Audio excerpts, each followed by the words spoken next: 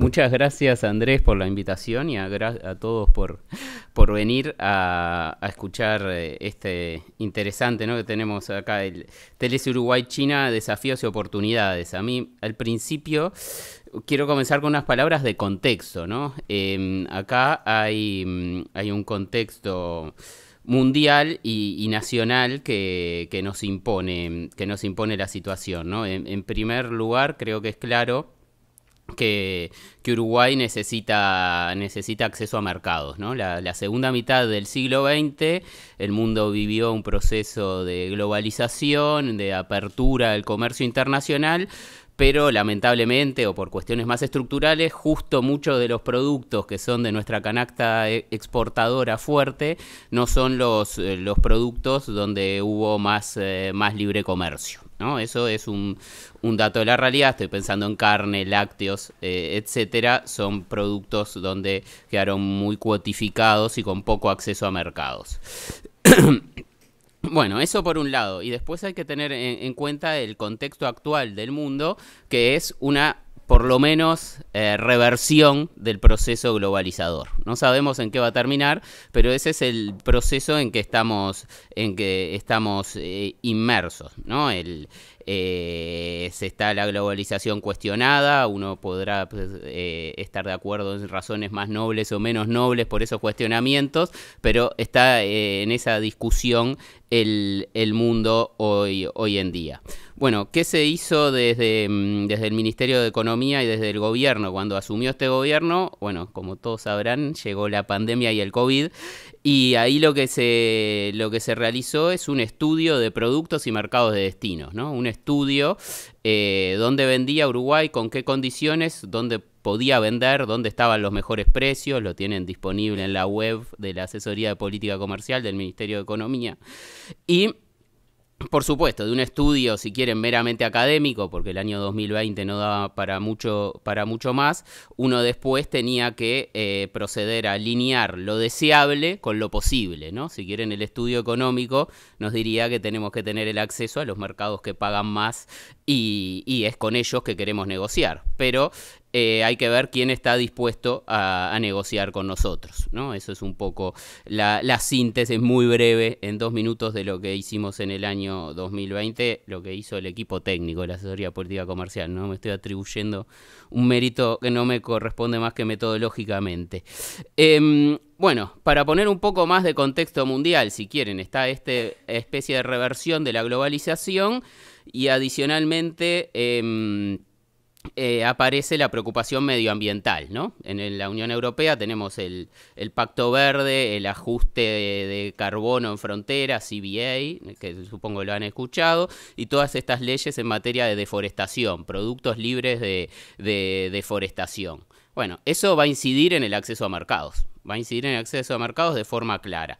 Bueno, eso se está debatiendo en este año de forma muy intensa en eh, este nuevo intento por cerrar el acuerdo Mercosur-Unión Europea, ¿no? que se acordó en principio en, junio de 2019, quedó en stand-by y cuando las cosas quedan en stand-by tanto tiempo, el mundo cambia. Aparecieron todas estas cuestiones medioambientales, ¿no? Es decir, ¿llegaremos a acuerdo con la Unión Europea? ¿No se llegará a acuerdo? Está en proceso. Eh, claramente este es el, el año de la ventana de oportunidad Veremos si Brasil tiene el liderazgo suficiente para, llegar a buen puerto. Pero digamos, el mercado europeo está canalizado por, por ese canal que habrá más optimismo o menos optimismo. Eso no es motivo de esta charla, pero quiero dejar el acceso a mercado europeo se está jugando eh, en ese canal. Después, eh, Estados Unidos. Estados Unidos saca la Inflation Reduction Act, y empieza, revive una, una ley que me, me enseñó Isidoro Odara del 29 para eh, ver si los productos están utilizados con trabajo forzoso, ¿no? Si se utilizó en su producción trabajo forzoso o no. Eh, lo más interesante, no los quiero aburrir, es que Estados Unidos adopta algo que filosóficamente Estados Unidos en toda su historia ha estado en contra, que es eh, lo que Europa utiliza para el medio ambiente, que es el principio precautorio. Es decir, si Estados Unidos sospecha que el producto está realizado utilizando con trabajo forzoso, es el país sospechado quien tiene que probar que no está utilizando trabajo forzoso.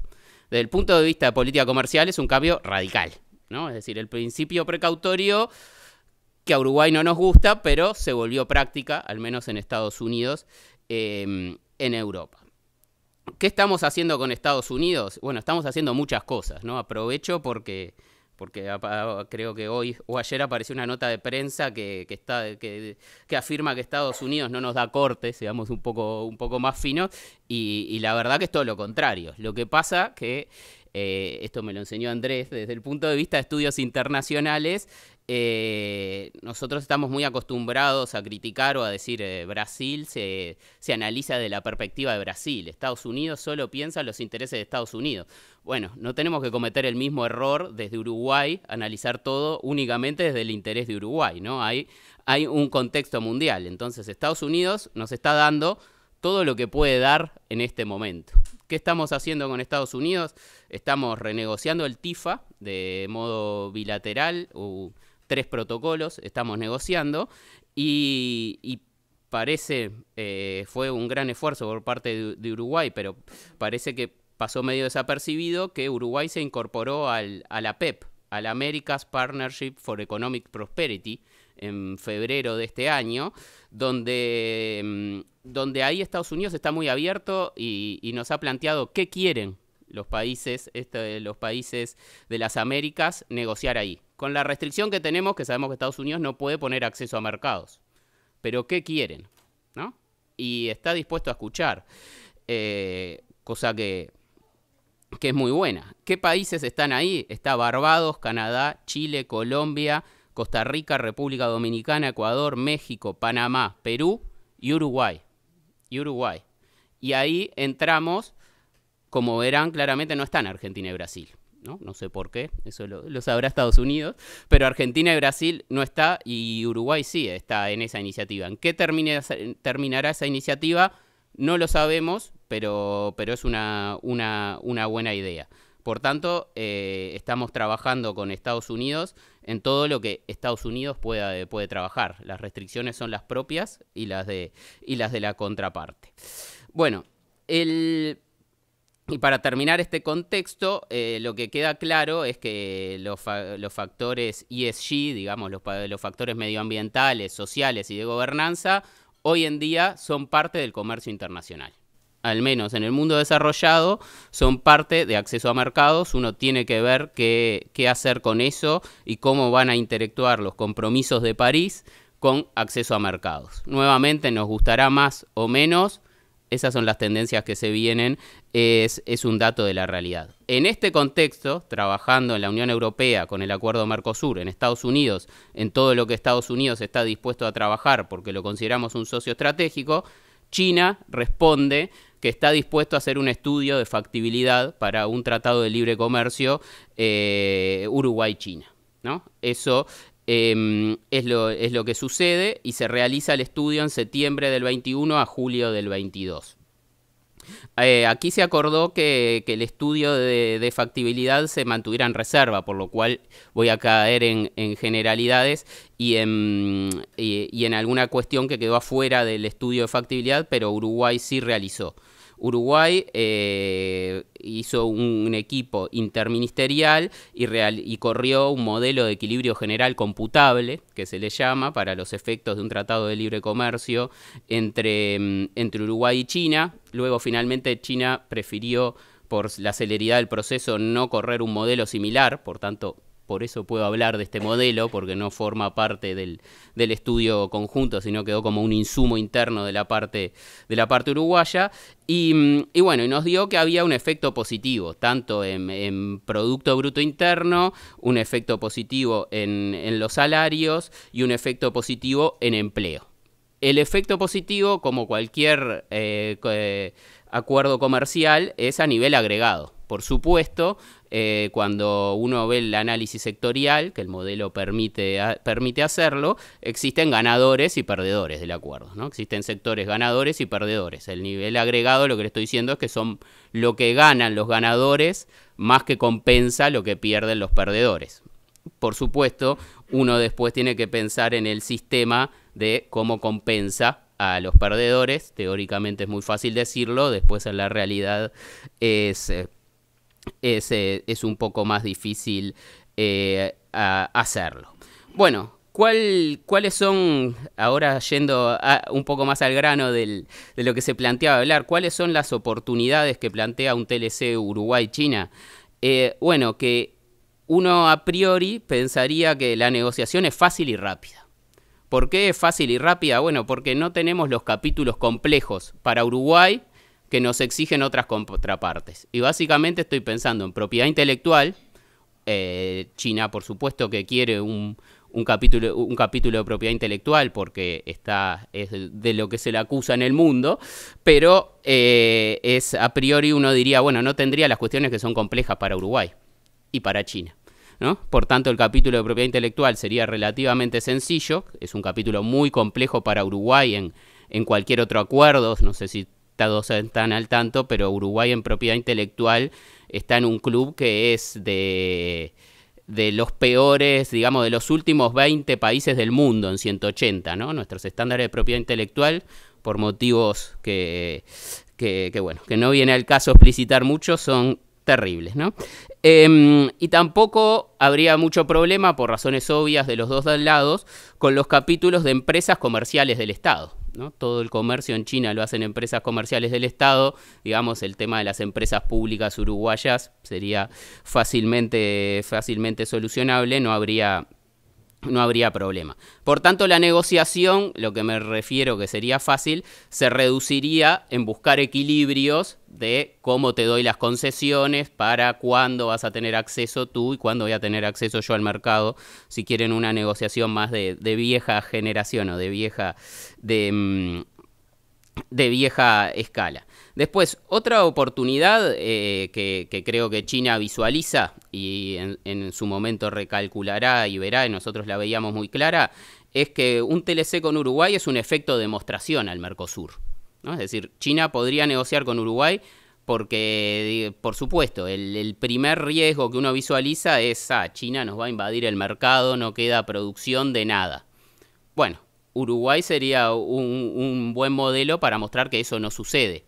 Ustedes me dirán, tenemos a Chile, ¿no? que ya lo firmó, tiene con Estados Unidos, tiene con China, no se ha peleado con nadie y eh, en materia comercial está, no parece tener muchos problemas. En otros temas sí, pero en política comercial no. Em, pero bueno, eh, por tanto, el efecto de demostración al Mercosur, nosotros suponemos que le da margen de negociación a Uruguay. Es decir, en cuanto a cronogramas de grabación, a qué dar o qué no dar, es decir, mira que esto lo está mirando con lupa eh, Argentina y Brasil, claramente. Y, bueno, y por supuesto es el principal socio comercial de bienes en Uruguay, ¿no? Casi el 50%, no este año con que la soja ha, ha caído, pero en términos en los últimos días y uno es el principal socio comercial. Eh, al ser el principal socio comercial voy a los desafíos. Claro, uno puede correr el riesgo de concentrarse demasiado en China. Y acá vuelvo al principio, por esto le dice este preámbulo. Bueno, alinear lo deseable con lo posible.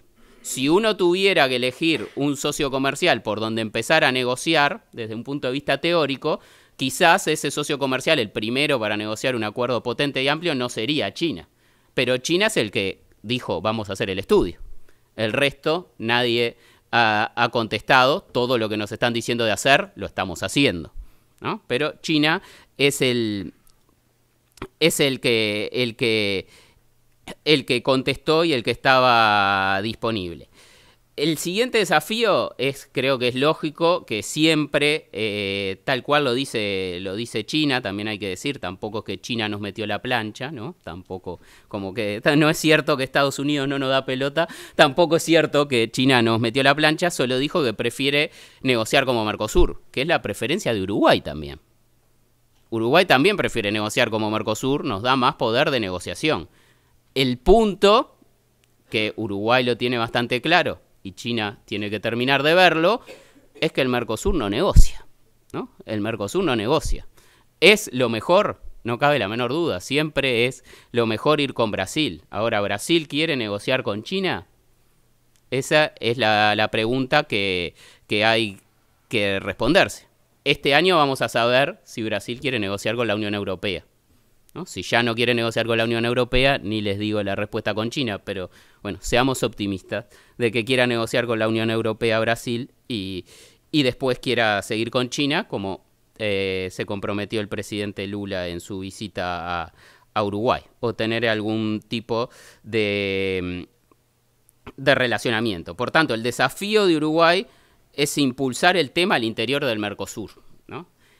Y el tema lo quiero enmarcar en este sentido amplio que les estuve hablando y, ya termino. Es decir, el tema de la apertura al mundo y de acceso a mercados, sea Unión Europea, sea Estados Unidos, sea China, sea CPTPP.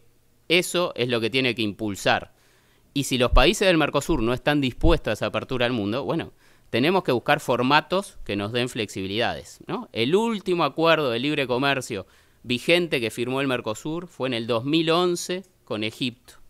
Y era un acuerdo tan insignificante, que en ese momento yo era más joven y era técnico, que casi iba yo solo, porque era un acuerdo que no le interesaba a Uruguay, ¿no? Imagínense mandarme a mí en ese... Y es lo único que hay. Y no hay nada más. ¿no? Y anterior a eso el TLC con Israel. ¿no? Nada más. Concluido. Bueno, esa, esa es la realidad. Eh, el desafío, si quieren, también es eh, mostrarle a Brasil que está en todo su derecho de decidir si quiere o no abrirse al mundo. Todo país soberano tiene esa decisión para tomar.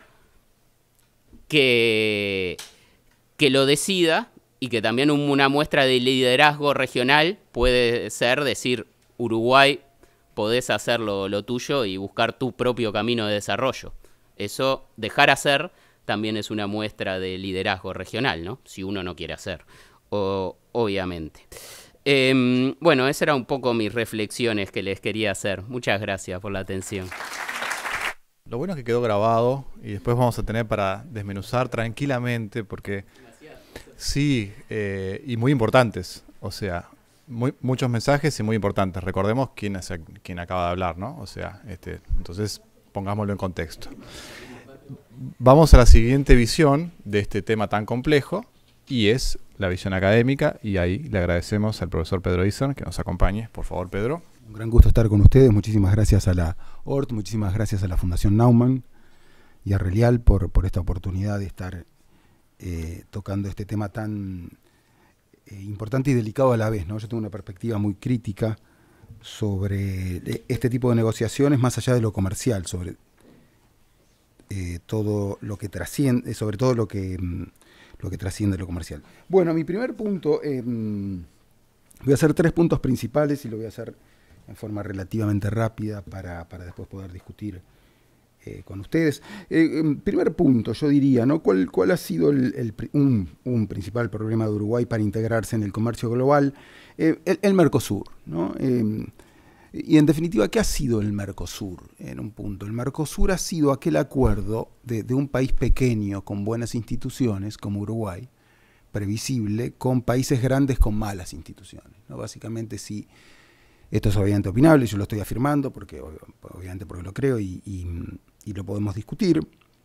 Pero en principio, si uno ve estos treinta y pico de años del Mercosur, lo que ve allí es una urgencia de corto plazo, buscando beneficios de corto, como, como, como es respetable y tiene sentido, que a lo largo de este recorrido eh, refleja un país que pudo haber incrementado su comercio, pero que ha quedado enconcetado entre dos países grandes, comparativamente muchos más grandes y con peores instituciones.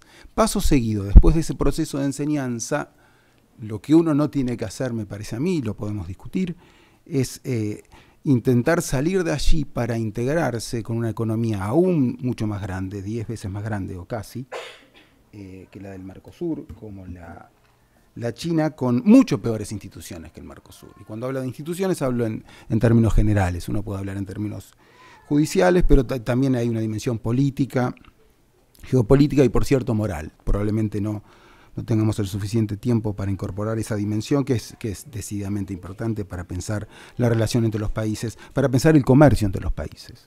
Efectivamente, eh, me he quedado pensando, Juan, hablo un paréntesis, perdónenme, ya lo cierro, cuando tú mencionaste, la, con, todo, con el gran respeto y admiración que le tengo a Juan y a Ope, ¿no? Em, así que las, discusiones y las diferencias son obviamente em, con, respeto, ¿no? Como tú dices, lo sencillo que ha sido, la, que puede llegar a ser la negociación de propiedad intelectual, porque básicamente ambos somos, y Uruguay es una de las grandes excepciones, violadores en, esa dimensión. Y yo me quedé pensando, ¿no? En definitiva, uno puede, uno puede pensar en un acuerdo de libre comercio de lo que sea entre China y, e, e, Irán. Y dice, bueno, nos pusimos rápidamente de acuerdo en la cuestión de derechos humanos. Fue muy sencillo, fue una, negociación muy sencilla, porque estábamos de acuerdo los dos. En cambio, si va China a negociar con Uruguay o con Noruega, o con Nueva Zelanda el asunto de derechos humanos, probablemente ese tipo de negociación va a ser, muy larga y no, no vaya a ser acuerdo. Y eso no es necesariamente malo, sino por el contrario, algo muy bueno, no ponerse de acuerdo y avanzar en forma sencilla en ese aspecto de la negociación. Así que yo me quedé pensando que en definitiva uno de los aspectos o ámbitos donde Uruguay y China avanzarían más rápido es allí donde Uruguay es débil, justamente en el respeto de la propiedad intelectual. Y ese es un punto bien, bien trascendente. Tú mencionaste, Uruguay se encuentra, Argentina también, ¿no? Este, por cierto, entre los 20 peores países, eh, o se encontraba, ¿no? Argentina en su momento, creo que ahora también, ¿no? Sí, entre, eh, por cierto, este, como no podía ser de otra manera, entre los, 20, entre los 20 peores países donde se respetan la propiedad intelectual y es allí donde encontramos un punto para avanzar en la negociación. y yo tengo que remarcar, con todo respeto, que me parece un, un buen argumento contra la idea y el espíritu eh, de fondo. Avanzo un poquito más rápido, entonces yo les mostraba aquí, lo que ustedes están viendo es el tamaño de China en, trillones de dólares y el tamaño del Mercosur. Uruguay, insisto, esta pequeña economía de 73 mil millones de dólares tiene una negociación muy difícil, tiene un acuerdo que ya tiene 30 años y en donde uno puede mirar retrospectivamente para, para ver el corto, mediano y largo plazo con estos dos países 20 veces, no, 30 veces más grandes que Uruguay, con, peores instituciones, con todos los problemas que ha tenido Uruguay para esa negociación, e intentará eh, involucrarse con este otro país de, 16 trillones, que eso supone, a ver, los economistas en la sala, sería qué porcentaje es de, la Pocho, 73 mil de 16 mil es el cero y pico por ciento, ¿no? La economía uruguaya del cero y pico por ciento, la economía uruguaya de la, así, ¿no? 0.5, 0.5% la economía uruguaya eh, de la economía china, en un contexto donde ustedes verán allí también los indicadores del Democracy Index del, del The Economist, que muestra que, por cierto, el, Mercosur tiene pobres, estos pobres indicadores institucionales que yo les mencionaba, eh, y que China los tiene aún más y tiene la dimensión de la cuestión china, ahora intentaré pasar a a mencionar que, no solo tiene malos indicadores institucionales, sino que tiene crecientemente malos indicadores institucionales. Y uno puede hacer Bueno, entonces voy a avanzar un poquito. Entonces, ¿cuál, ¿cuál es una principal enseñanza de la experiencia en el Mercosur? Que en todo proceso de integración hay que sopesar los evidentes beneficios de corto plazo con los no evidentes perjuicios de mediano y largo plazo. Bien, entonces, rápidamente yo quería pasar entonces al segundo punto, que tiene una, un tipo de relación con el primero. Nosotros, cuando nos buscamos asociar, buscamos asociarnos con una economía por sus indicadores pasados o por sus posibles eh, indicadores, eh, indicadores futuros. Y en realidad yo creo que con, en, este, en esta experiencia y en otras, porque los humanos miran, buscamos certidumbre, la certidumbre en general la tenemos más en el pasado que en el presente y en el futuro, vemos indicadores que ya no están. ¿no? Nosotros vemos una, una, especie de, yo le diría, de, una cruz eh, de este tipo. Vemos una economía china que, crece a tasas cada vez menores, y no tengo que tocar el, micrófono, y una economía china eh, y, una, y una sociedad y una política china que tiene crecientemente eh, peores indicadores institucionales. Entonces yo quería hacer particular, bueno, particular hincapié en, cuatro puntos rápidamente, lo voy a hacer, sé que lo tengo que hacer rápido tiendo y, brevemente introducir algunas cuestiones. No, bueno, cuatro puntos que no estaban y hoy están. cuatro puntos que uno podía tener un pasado en el pasado y hasta cierto punto. El beneficio de la duda y que ya no los puede tener. ¿no? China ya, ya no crecerá, ya no crece a tasas chinas. ¿no? Si, si antes el gran beneficio de la integración con, China era una, economía que crecía a 10%, a 10 por año, como lo ha hecho, y que no, intervenía políticamente en otros países de la región, eso está cambiando, está cambiando ambas cosas, hay, que incorporar eh, las, dos dimensiones em, y, ponderarlas en, su de, eh, debido eh, medida. el otro punto, así que una dimensión económica, para mirar para adelante y no para atrás. Eh, el país enfrenta, China, ustedes saben, una, fenomenal implosión demográfica, una, implosión demográfica que tiene pocos antecedentes, yo creo que en la historia moderna, decididamente en periodos, en periodos de paz. Eso tiene que ver con, dos dimensiones claras de, de, una sociedad represiva y cerrada, la política del hijo único y la propia dinámica de, mm, la otra dimensión es lo, que, lo que sucede con las economías que crecen, que tienen un, proceso de, envejecimiento de, la población. Eh, voy a hacer un punto importante al respecto, que yo, yo creo. así que hay una dimensión demográfica, hay una dimensión económica, una dimensión política. Han cambiado las reglas de juego en China y eso eh, se formalizó en octubre del 2022, pero ya se veía... Eh, informalmente em, encaramarse a partir de la, de la asunción al poder de Xi Jinping Em, a finales del, del, 20, del 2012 o, 2013. Ha habido allí un cambio en las reglas de juego, en, las reglas de juego político inédito, eh, que, es una situación del presente con repercusiones en el mediano y largo plazo. Insisto en que, en que estas dimensiones no solo tienen que ver con un cambio que está ocurriendo, sino con con un profundo impacto en el, en el mediano y largo plazo. La otra dimensión, la paso muy rápidamente, es la dimensión social. Así que acá tenemos cuatro, cuatro dimensiones. Tenemos la dimensión demográfica, la económica, la política y la social. La social es como, es como China, que por cierto tiene, tiene una responsabilidad que, que todavía no, no ha sido que todavía no ha sido precisada sobre, sobre el inicio del COVID, por, su propia opacidad para, para reflejar esa información, eh, la, pero, pero a un punto posterior, la, represiva política del COVID-0 ¿no? representa la clásica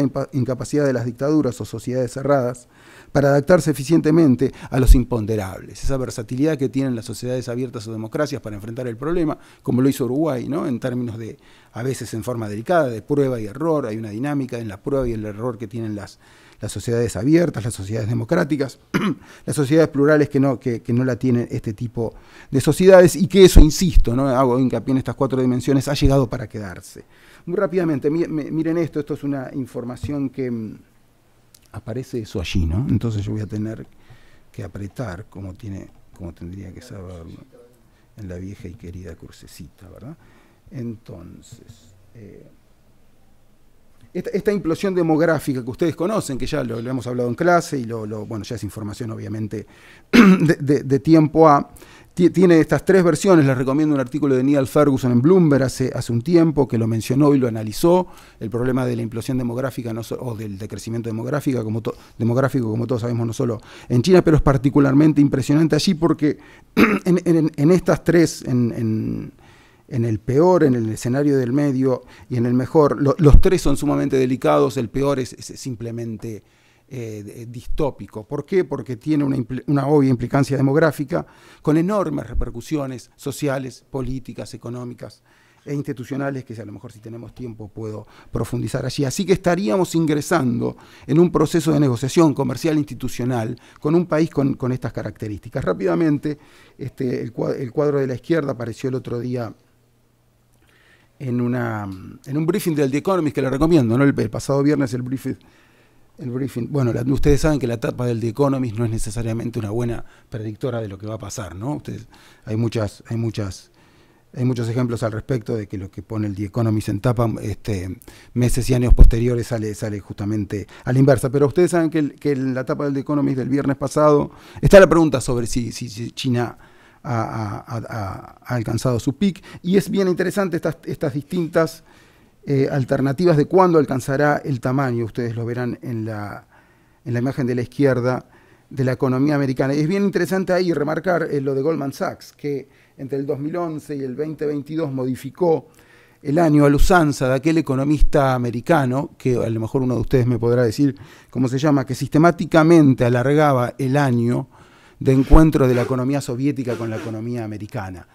No es Krugman, eh, eh, pero eso, eh, creo que es Galbraith, que tenía un clásico manual de economía. Que, ¿Es Galbraith? que en el 50 empezó a decir la economía soviética pasará a la americana en el 62, en el 57 dijo en el 70, en el 65 dijo en el 73, y en un determinado momento dijo me parece que me equivoqué y la economía soviética no alcanzará el tamaño de la economía americana. Yo cuando veo esto de Goldman Sachs tengo que, necesariamente pensar en esa perspectiva comparada. El cuadro de la izquierda lo podemos ver en términos de cruz con, las tasas de crecimiento. ¿no? Yo les mencionaba que China ya no crecerá a tasas chinas más allá de esos picos de ida y vuelta que tienen que ver con el COVID, con la entrada con el COVID, con la salida en el COVID, y con un pico ahora en el, en el 2023 en donde la economía crecerá 5.2. Es muy probable tasas positivas, pero desde, desde crecimiento que se estructuralizarán en el tiempo. Insisto, nosotros estamos mirando el pasado, cuando o, uno eh, a veces mira el pasado y, y busca esas tasas de 10% de de un régimen represivo que sin embargo no intervenía en la política cuando tiene que mirar para adelante para, para encontrar un país que ya no crecerá a tasas chinas y un país que por cierto crecientemente interviene desde lo político. Sé que me tengo que apurar y, entonces mostrarle las, las otras dos eh, menciones que hice sobre, sobre la dimensión política, muy seria, muy seria. Es una cuestión estructural el cambio el cambio estructural de las reglas de juego en China a partir del poder que ha, que ha acaparado su, su, actual líder Xi Jinping, y, la cuestión del COVID como una cuestión estructural más allá de lo coyuntural, de cómo enfrentó eh, em, este, em, una sociedad cerrada, un evento imponderable.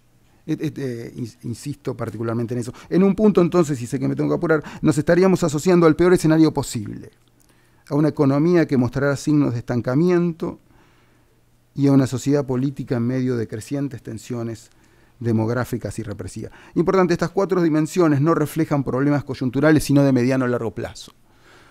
tienen una dimensión coyuntural, sí, pero, si uno lo, repiensa y lo reflexiona, la cuestión demográfica, la cuestión política, la manera de enfrentar un imponderable y, el y las tasas de crecimiento eh, además de, tener esta dimensión coyuntural, tienen una dimensión estructural o de mediano y largo plazo que uno tiene que tener presente a la hora de involucrarse con un actor de estas características. Eh, por último, entonces, yo quería hacer una nota sobre Hong Kong, que a mí me, ustedes dirán que tiene que ver Uruguay, un acuerdo de libre comercio entre Uruguay y un posible acuerdo de libre comercio entre Uruguay y China y Hong Kong, tiene muchísimo que ver. Tiene eh, eh, tiene muchísimo que ver. ¿Por qué? Porque, estamos, porque a lo mejor es, una, es, un, es, un viaje al futuro, la, particular relación que ha desarrollado Hong Kong y China desde el 97 en adelante. Ustedes pueden ver aquí el, peso relativo de la economía de Hong Kong con la de China desde el 97 en adelante. Ustedes saben que hasta el 97 Hong Kong tuvo, eh, era una... Era, el estatus era de colonia, de, colonia británica y pasó a ser eh, un territorio chino de, un país con dos sistemas.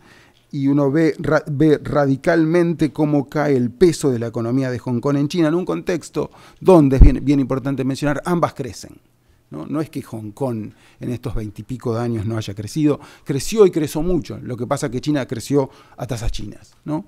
Eh, y, paso seguido, ¿qué, justamente, ¿qué ha pasado con Hong Kong? Y mi pregunta es a ese respecto, ¿qué, ¿cuánto nos puede enseñar la experiencia hongkonesa a nosotros? Si vinieran hongkoneses aquí para contarnos cuál ha sido el beneficio de la integración económica y cuál ha sido el perjuicio de la integración política e institucional probablemente nos darían muy buena información de lo que no hay que hacer o de lo que hay que hacer con, con mucha preocupación. Y me apuro para decir, a lo mejor en forma un poquito, aquí es otro gráfico bien interesante, miren cómo el tamaño de la economía de Hong Kong eh, dentro de la economía china, ¿no? esta verdadera impresionante periodo de crecimiento de 30, y pico de años en, durante la economía china, y después la comparación ahí, miren ustedes, de lo que ha sido el, PIB per cápita en Hong Kong, tanto medido en paridad de poder de compra como en, como en, eh, dólares nominales. ¿Qué ven en uno y en otro caso? Y lo que, en lo que está entre paréntesis es, el tamaño, es la relación entre el, PIB per cápita de China y Hong Kong.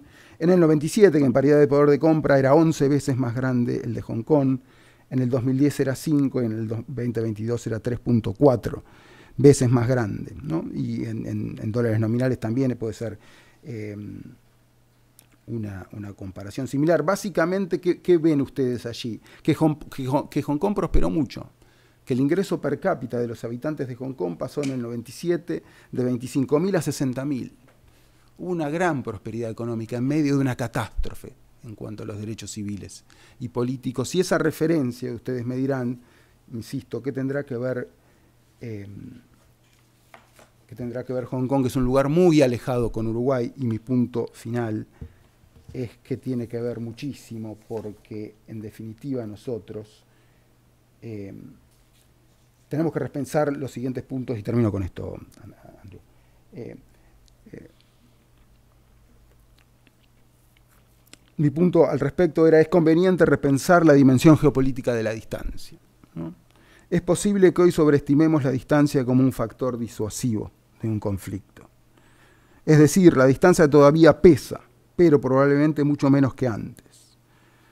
¿Podríamos afirmarlo taxativamente? No, pero parece prudente incorporarlo como una nueva dimensión en este momento histórico.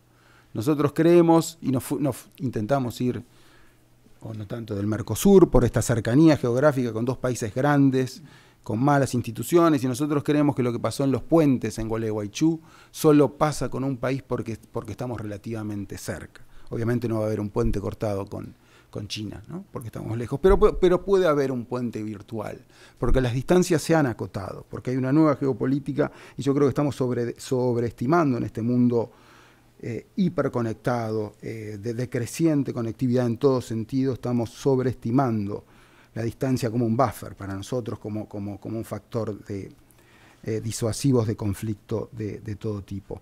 Termino.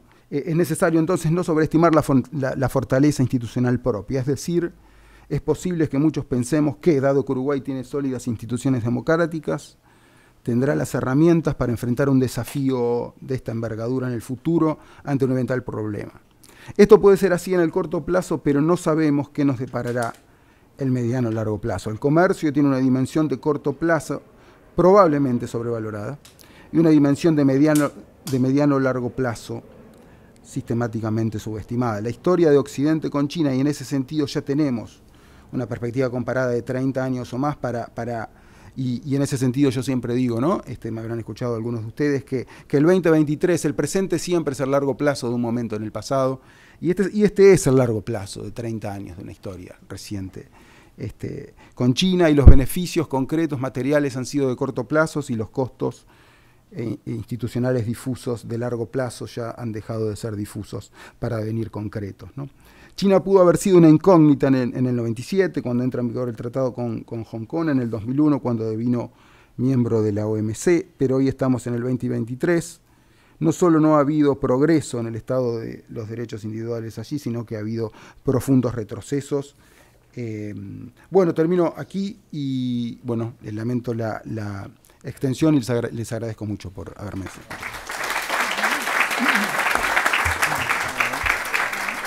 Muchas gracias, profesor Iser. Vamos ahora a la tercera visión sobre este tema, que como vemos es de una complejidad extensa. Eh, le damos la bienvenida entonces al doctor Ope Pasqué, por favor, y voy a dejar de compartir.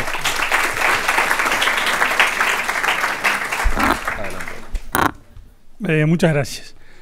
Y bueno, si tengo que anticipar un, resumen ejecutivo, diría sí, esto es mucho más complicado de lo que parece. Adelanto eso. Eh, tiempo atrás hablábamos con, Pedro de, la posibilidad de, tener esta charla un día, cuando todavía no, había vuelto el canciller Bustillo de China, todo eso estaba por verse, y parecía que esa era una posibilidad, el, el TLC Uruguay-China bueno, las cosas han cambiado, como todos sabemos, esto ya no es así. Y yo me siento como si estuviera eh, analizando acá junto a ustedes lo que puede ser la final de la Champions entre el Inter y el Real Madrid. Todos sabemos que esa final no se va a jugar nunca. Bueno, este TLC Uruguay-China tampoco. Digo, no. Los, los hechos han dejado atrás esa, esa posibilidad, pero viene bien porque nos da margen para, digamos, reflexionar serenamente acerca de un tema que es muy importante, ciertamente, y que no es sencillo.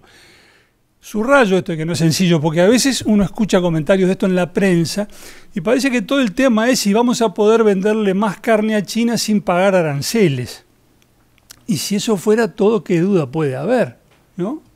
Es facilísimo. Pero es mucho más complejo que eso. Es mucho más complejo que eso. No se trata solo de si queremos venderle más a China. las, las, compraventas aisladas no están en discusión. El comercio con China ha crecido todo este tiempo. El año pasado, según leí, China fue el 28% de nuestro comercio de bienes, fue el principal cliente de Uruguay. Este, no hay duda de que vamos a venderle todo lo que podamos. Ahora, una cosa son las compraventas aisladamente consideradas eh, y otra cosa es un TLC. Es un tratado de libre comercio que además, según dijo el presidente de la calle Pou en su momento, sería un TLC de última generación que comprende varias disciplinas. Son, este, si hablamos en el grosor, son, mamotretos así de centenares y centenares de páginas que implican obligaciones para los países que lo suscriben. Entonces, tenemos que ver el, significado de eso, a qué nos, nos obligamos yendo mucho más allá de lo estrictamente comercial, de lo estrictamente arancelario o aduanero. Hay otras disciplinas, yo que sé, en materia ambiental, por ejemplo, en materia de, trato a los trabajadores. Aunque se dice que China no es tan exigente como el TLC que firma, por ejemplo, que ha firmado Estados Unidos o la Unión Europea, es más restringido, pero bueno, si hablamos de última generación, hay que suponer que muchas de esas cosas van a estar o pueden estar y tenemos que ver lo que significa este, obligarse en esos términos, sobre todo teniendo en cuenta que por las dimensiones de China y de Uruguay no van, a ser, no van a ser los chinos los que adapten sus regímenes aduaneros o de protección ambiental o de lo que ustedes quieran en función de, las normas uruguayas, sino que va a ser estrictamente al revés. Entonces, ¿queremos que nuestras instituciones se parezcan más a las chinas? E, esa es la idea. Eh, me parece que todo esto tenemos que valorarlo. Eh, por supuesto, un un aspecto insoslayable del asunto es lo que tiene que ver esto con el, Mercosur.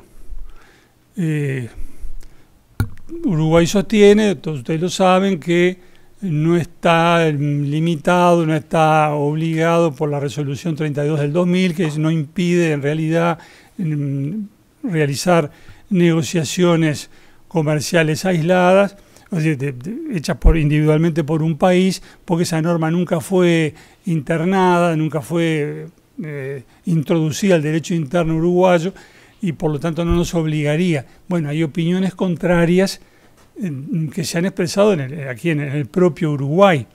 Eh, yo simplemente señalo que el punto es controvertido, no tomo partido. Pero, eh, obviamente, Brasil y Argentina han hecho caudal de esto.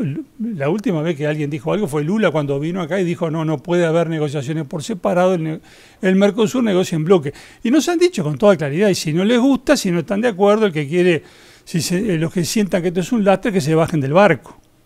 O sea, Uruguay, según Argentina y Brasil, no puede llegar a acuerdos por su cuenta con otros países. Tiene que hacerlo a través del Mercosur. Y como decía este, Juan hace un rato, por supuesto, nosotros también queremos hacer esto con el Mercosur. Nuestra capacidad de negociación aumentaría mucho en ese caso. Pero parece que los demás no quieren. Y nada permite prever que van a cambiar su opinión, que van a flexibilizar el Mercosur en los próximos tiempos. O sea que ahí tenemos un, por lo menos un problema, que habrá que ver, llegado el caso, este, cómo se supera aquello de cuando lleguemos al río veremos cómo lo cruzamos. Bueno, no estamos ni cerca de llegar al río por lo que ha pasado, comentaba al principio, pero he ahí una dificultad, un problema. ¿Qué vamos a hacer cuando llegue, si llegara un momento que tuviéramos que decidir entre el Mercosur y esta posibilidad? Digo, es una, es una complejidad eh, adicional al, problema. Eh, pero no son las únicas complejidades, porque esto no es, no es solamente comercial. Digo, esto tiene una dimensión política insoslayable. Yo escucho decir a veces que una cosa es el comercio y una cosa es la política, que no hay que mezclarlos tanto. Pero, discúlpenme, pero discrepo. Este, cuando hablamos de un TLC y cuando hablamos de un TLC con China, hay una dimensión política del tema. Permítame decirle que yo no tengo ningún, digamos, prejuicio anti-China, en absoluto. Les recuerdo un antecedente. Eh, cuando se restableció la democracia, Uruguay no tenía relaciones diplomáticas con China, las tenía con Taiwán. Bueno, yo fui de los primeros que se manifestó públicamente en el sentido de que la democracia uruguaya tenía que reconocer al gobierno de la República Popular China como representante de toda China. Primera nota periodística en ese sentido apareció en el diario El Día, que era un, día que, un diario que salía en otra época. Parece mentira que haya que dar estas explicaciones, pero es así. Este, una nota que salió en el diario El Día en el mes de octubre de 1985. Y allí yo decía, bueno, la democracia uruguaya tiene que bueno, abrirse al mundo hay que apoyar al canciller Iglesias en la gran gestión que está haciendo para presentarnos ante el mundo nuevamente y tenemos que reconocer al gobierno de Pekín como al único gobierno de China. En aquella época se decía Pekín todavía, no todavía Beijing. Este, por supuesto, me contestaron los de la Embajada de Taiwán eh, y, y, me contestaron los del lobby pro Taiwán, que era muy fuerte en Uruguay en aquel momento. Tuve varias controversias periodísticas, después alguna discusión en la Cámara y finalmente, años después, en febrero del 88, Uruguay estableció relaciones con la República Popular China. Eh, y al mes siguiente cambió el ministro de Relaciones Exteriores. Se fue Iglesias, vino Luis Barrios Tazano, que había sido el negociador del acuerdo con China desde la Embajada Uruguaya en Buenos Aires. Y justamente por todo lo que había sido mi contribución al tema, el doctor Sanguinetti, entonces presidente de la República, me designó subsecretario de Relaciones Exteriores. Digo todo esto porque yo no soy anti-China ni cosa por el estilo. En su momento defendí que tuviéramos relaciones con la República Popular China. Ahora, una cosa es eso y otra cosa es esto otro. Son dos cosas distintas. Este, cambió mucho el mundo, cambió mucho la situación. Y ha cambiado no solamente desde el 85 hasta ahora, desde hace 10 años hasta acá. Una cosa era aquella China que, bueno, se incorporaba a la Organización Mundial del Comercio, que venía en buenos términos con todo el mundo, que no tenía una actitud, digamos, eh, avasallante ni mucho menos, que, decía que quería llevarse bien con todo el mundo. Y otra cosa es esta China de hoy que tiene una actitud mucho más asertiva, afirmativa, y que está planteando allí sus aspiraciones en forma muy, muy enérgica. No digo que esté mal, señalo el hecho. Eh, para afirmarse como bueno, este, potencia mundial y hacer efectivas sus reivindicaciones. Por ejemplo, con relación a Taiwán. El tema con Taiwán, ubiquémoslo bien, eh, no es un tema entre dos estados, el estado chino y el estado taiwanés. Eh, la cosa siempre fue que se reconocía que China era una sola y se discutía acerca de cuál era el gobierno legítimo de esa China única. Por eso lo que tuvo que hacer Uruguay en el, año, en el año 88 fue reconocer que el gobierno único de esa única China era el gobierno que tenía su sede en Beijing, no el otro. Eh, y China siempre ha entendido que Taiwán es una de sus provincias, que en algún momento tiene que producirse la reunificación y bueno, y cada vez quieren, eh, bueno, se, exasperan más ante la demora y ante los que parecen ser pujos independentistas en Taiwán, porque las generaciones en Taiwán van cambiando, ya no son los que llegaron allí en 1949, después de la, de la revolución comunista y su triunfo en la China continental, sino otras generaciones nuevas de eh, taiwaneses jóvenes que, que no entienden por qué tienen que ser parte de ese otro país mucho más grande con un régimen distinto, quieren ser independientes y por supuesto la independencia es casus belli. Ahí está planteada la cuestión. Y cuando China quiere aproximarse a su objetivo de la reunificación territorial, se encuentra con que Estados Unidos, con mayor o menor ambigüedad según las circunstancias, dice, no, bueno, nosotros eh, vamos a impedir cualquier uso de violencia contra Taiwán y está planteada una situación que puede ser de enfrentamiento bélico. En esa revista que se comentaba recién en el Economist o en Foreign Affairs, otra revista de estudios internacionales, hablan con mucha tranquilidad de la posibilidad de un choque militar entre China y Estados Unidos por este tema. Y especulan acerca de si se va a producir en el 2024, en el 2025 o en el 2030, o un poco antes o un poco después. Imagínense lo que sería una conflagración militar entre esas potencias, no importa si se produce este año, el año que viene o el otro. Consecuencias devastadoras para el planeta de enorme repercusión política mundial. Tenemos ese escenario de tensión internacional. eh, China, Estados Unidos por Taiwán. Tenemos la guerra en Ucrania, lío fenomenal acerca del cual no necesito extenderme, lo, vemos todos los días en la prensa. Tenemos el lío potencial entre Israel e Irán, que no sabemos en qué va a terminar, cuándo, cuándo eso va aumentar la, tensión. Sí, son muchos elementos en el escenario político mundial que nos están diciendo que se está reconfigurando el mapa, que el mapa del poder mundial está cambiando y no sabemos cómo va a terminar de delimitarse, de, de definirse.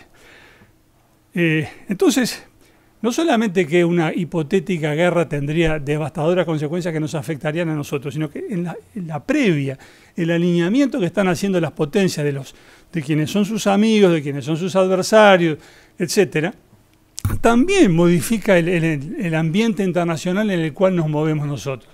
Estados Unidos dice que convoca a sus amigos, quiere hacer alianzas con los amigos, tenerlos cerca, eh, que quiere que los suministros de los elementos que utiliza su economía vengan de países amigos para no correr el riesgo de que China pueda afectarlo. Por eso quiere que los semiconductores se elaboren en los Estados Unidos y no en Taiwán, porque Taiwán corre peligro de ser absorbido por Estados Unidos. En fin, todo eso está pasando. Y todo eso, digamos, puede modificar el entorno en el que nosotros tenemos que tomar decisiones. No podemos pensar que vamos a, a permanecer al margen de todo eso diciendo nosotros, bueno, este, lo político no nos interesa, lo nuestro es comercial solamente. no nos van a dejar jugar ese juego. Eh, hay cosas que se imponen. Eh, el tema este, vuelvo sobre este punto que me parece muy importante. Eh, esto de que el comercio es una cosa y la política es otra. No existe eso. No existe. fíjense cómo ha actuado China con los países que tienen acuerdos comerciales con ella, con Australia, por ejemplo. hace poco, poco, algunos meses, quizás un más de un año, el primer ministro australiano reclamó una investigación a fondo del origen del COVID. Decía que, se había producido una ciudad china, en Wuhan, quería saber exactamente qué había pasado, reclamó públicamente una investigación a fondo. A los chinos no les gustó nada el reclamo. Entonces, ¿qué hicieron? Recortaron las importaciones desde Australia en productos muy importantes para ese comercio. Carbón, carne, cebada, vino. Las cortaron drásticamente. Entonces, ¿cómo es la cosa? ¿La política tiene que ver con el comercio o no? El embargo de Estados Unidos a Cuba, embargo comercial, algunos sectores políticos dicen el bloqueo, digamos embargo comercial. Es una medida que afecta al comercio, obviamente. ¿Está dictada por razones comerciales o sanitarias o, o por razones políticas? Vamos.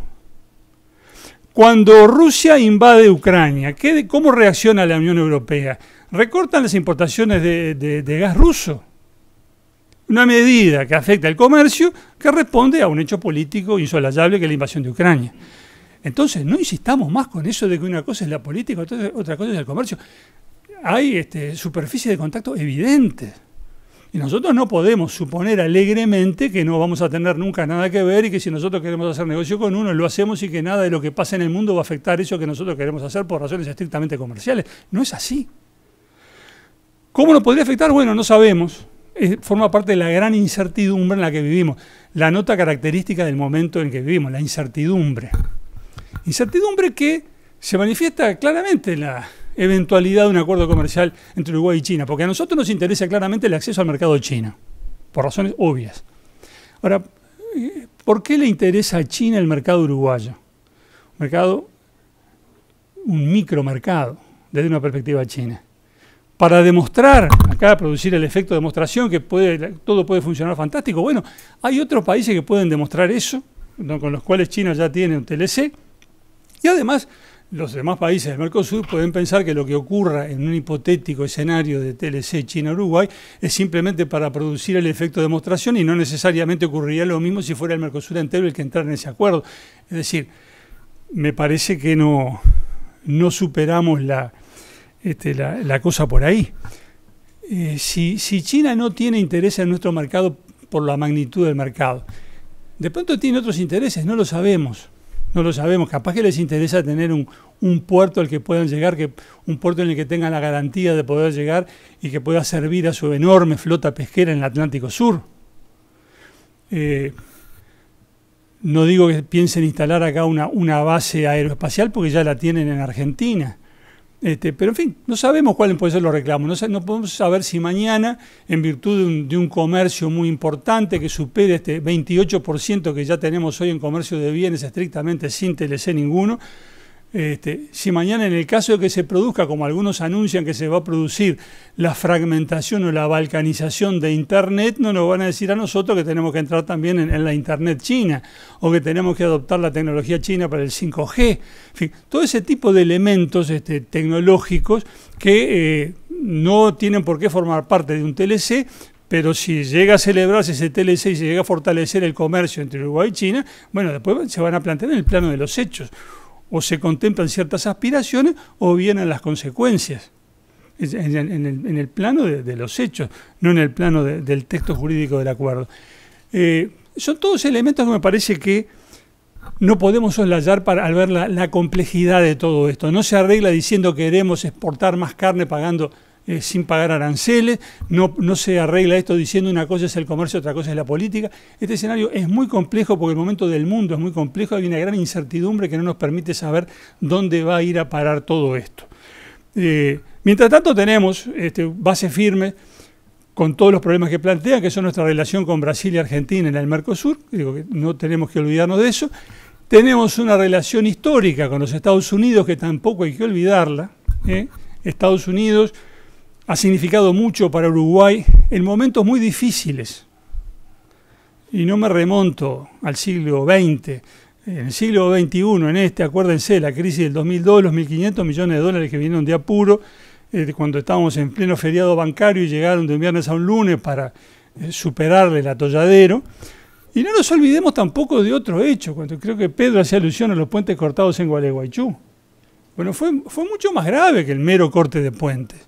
Y acuérdense lo que dijo el presidente Tabaré Vázquez cuando fue a dar una charla al Colegio Montesexto en el año 2011, ya había dejado de ser presidente, dijo que, bueno, temiendo una agresión proveniente de Argentina, no una agresión del Estado argentino, una agresión formal, pero una agresión de hecho, de elementos informales, había pedido el apoyo de Estados Unidos. Después se lo comentó con detalles a Gabriel Pereira, que lo publica en su libro sobre sus charlas con Tabaré Vázquez.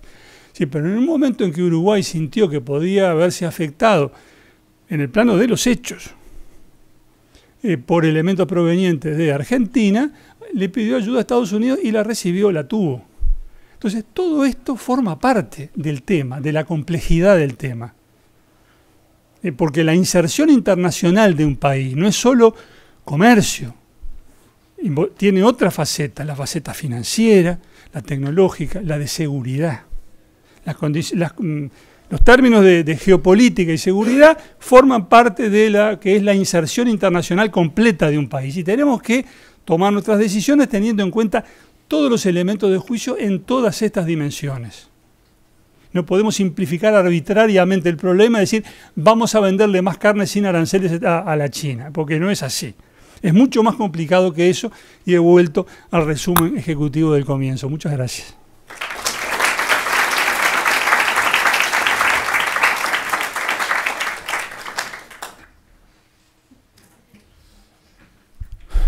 Muy bien, muchas gracias, Sope. Eh, yo voy a hacer dos comentarios, una, una reflexión para los estudiantes y una reflexión personal. En la reflexión para los estudiantes, tomo lo que decía Ope. Muchos de ustedes están acá, son estudiantes de estudios internacionales y muchos seguramente se van a dedicar al comercio internacional como se dedican el 60% de nuestros graduados. Y capaz que muchos están pensando, ¿y a mí esto qué me importa? ¿Ah? Porque arrancamos con las carnes, como tiró Juan al comienzo, y después terminamos con Taiwán y hablamos de la geopolítica. Eh, hello, el mundo hoy es todo geopolítica, todo geopolítica. ¿ah? O sea, los 25 años felices desde el fin de la Guerra Fría hasta el comienzo del COVID, los 30 años donde la geopolítica prácticamente no existió, terminaron, quedaron enterrados. O sea, estudiantes, geopolítica. ¿Se van a dedicar al comercio? Geopolítica. Si no entienden de geopolítica, no van a poder comerciar. Es así de simple. Ah, no hay vuelta. Eso es lo primero. Lo segundo, una reflexión comercial, personal, perdón, pensando más en la inserción internacional del Uruguay. Y después pasamos a las preguntas. Cuando era chico, mis padres me llevaron a ver una película eh, se llamaba Rocky, Rocky 1, con Sylvester Stallone. Una película, plena Guerra Fría, Sylvester Stallone peleaba contra un otro peleador soviético, si mal no recuerdo, o otro americano, ya no recuerdo. ¿Eh? ¿Cuál? Rocky 4. Bien. Eh, ahí, viene lo mío. Fuimos a ver Rocky 1, muy bien, la pelea, todo muy bien. ¿ah? Poco tiempo después, mi padre me llevaron de vuelta a ver Rocky 2. Ok, fuimos a ver Rocky 2, estuvo bien, pero era más o menos lo mismo, ¿no? Después vino Rocky 3, después como bien dice Pedro, tiene mejor memoria, Rocky 4. Y yo ya la verdad que estaba aburrido del tema absoluto y creo que nunca fui a ver ninguna Rocky más si es que hubo. ¿Hasta cuánto? Hasta las 6. Muy bien, muy conocedor, aporte académico central en el día. ¿Qué es lo que me pasa con la inserción internacional del Uruguay? Uruguay firmó el Mercosur el 26 de marzo de 1991, Guerra Fría. Hace 30 y no sé cuántos, 32 años que venimos hablando y cada vez más de que Uruguay tiene que encontrar los mecanismos para salir y poder negociar por fuera del Mercosur. O sea, Rocky 1, Rocky 2, Rocky 3, Rocky 4. Pasan las distintas administraciones, da la sensación de que hay un consenso al respecto y sin embargo, en breve tendremos a la Rocky 14 o Rocky 18. O sea, porque el tema no tiene solución. Y ahí tomo también de vuelta lo que decía Ope recién. Es decir, el año que viene tenemos año de elecciones. Parece que estaría bueno que el sistema político se ponga a hablar en conjunto, todo el sistema político, sobre, ok, qué tipo de inserción internacional queremos para el país. Es el tema central, o sea, realmente es el tema central. Si hay un tema central en la agenda de este país que produce alimentos para 35, 40 millones de personas y somos 3 millones y medio con suerte, es qué vamos a hacer con nuestros productos. Es el tema central del Uruguay. Y es increíble que estemos entrando casi en año electoral y se hablan de un montón de temas que seguramente son importantes, pero el tema de la inserción internacional de Uruguay corregime, Ope, pero no está dentro de las prioridades, no se habla prácticamente. Es un tema que está por debajo. Y después otra vez entramos en la dinámica de los hechos y otra vez nos ponen Rocky 14 para verla de vuelta, que ya honestamente estamos todos muy aburridos.